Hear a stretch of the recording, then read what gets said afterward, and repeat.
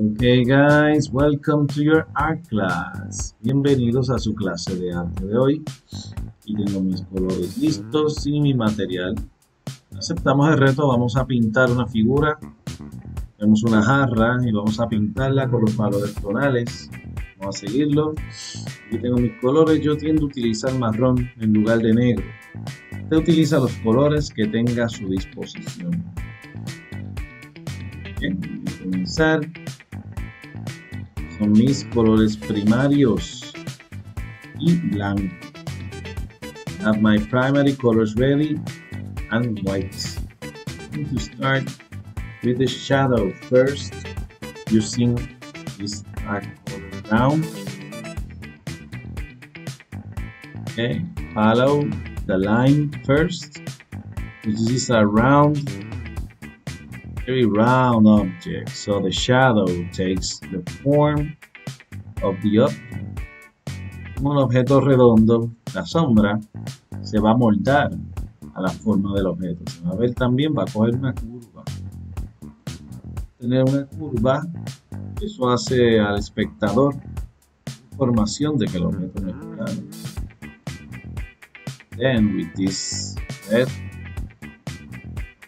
here is magenta. Use this here on the second layer. Now create an orange. Remember how you do it with crayons you can use that as a reference. Pueden utilizar como referencia el, trabajo anterior donde practicamos con crayones cada color. Puedes hacer los colores antes de empezar y aplicarlos poco a poco a la mesa.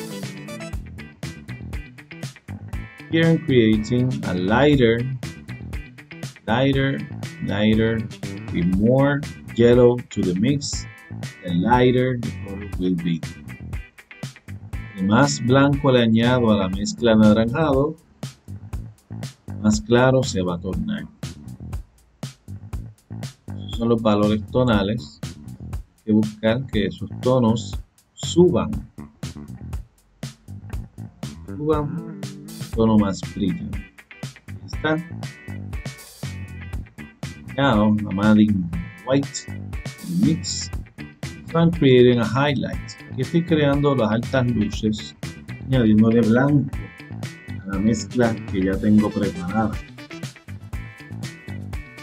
En este caso estoy trabajando sobre una superficie húmeda puedo difuminar y mezclar colores en el trabajo aprovechando que aún siguen húmedos.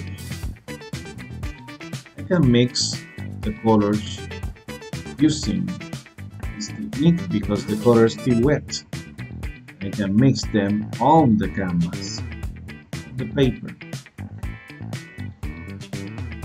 Continue adding the shadows dealing with the shadows all the time.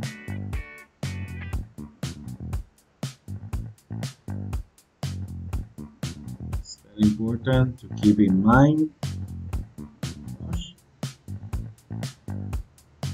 or to wash your brush every time you're working with.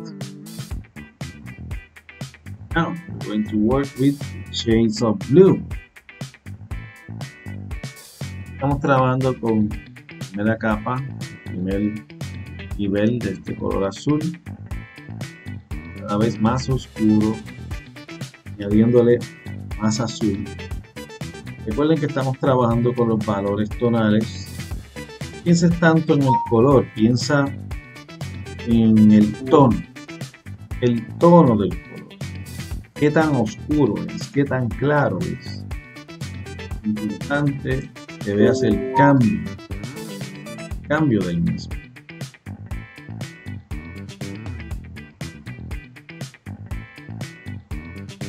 Here you have all the changes. You can see how the shades are changing, getting darker and darker blues. I continue adding more mix. Fíjate cómo va cambiando el tono. Vez que yo le añado más y más azul a mi mezcla. Uno va tornándose más oscuro.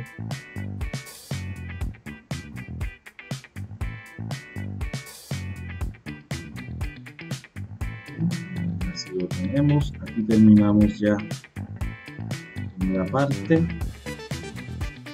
We're dealing with complementary colors. You can see the blue and the orange. They are complementary colors. You're using complementary colors that helps your artwork. It's amazing. Very bright colors, interesting to the viewer. Trabajas con colores complementarios.